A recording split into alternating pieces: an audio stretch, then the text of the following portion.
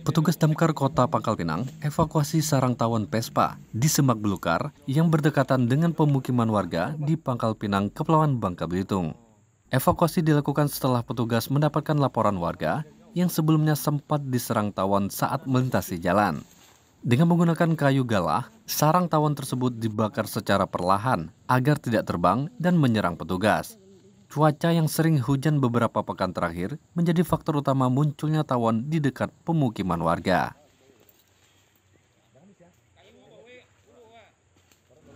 Sarang tabon, tabon eh, yang suci ya, yang sudah ada korbannya, yaitu kemarin seorang dewasa sudah tersengat oleh tabon yang sedang lewat di sini. Kemudian untuk ini kami memanggil dari tim damkar untuk melaksanakan ya khususnya untuk keselamatan masyarakat kami. Saya selaku RT 9 RW 3 Kelurahan Tuatun Indah agar supaya masyarakat di sekitar lingkungan kami aman tidak terganggu oleh tabon yang telah ada di hutan ini.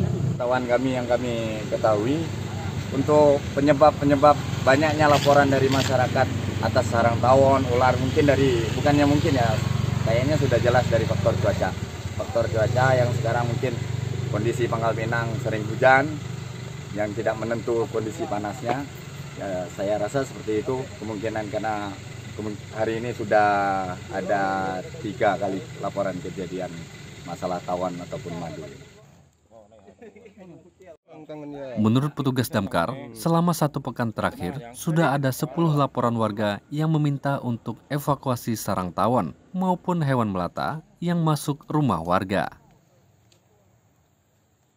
Dwi Raka Prasetyo, Kompas TV, Pangkal Pinang, Kepulauan Bangka Belitung.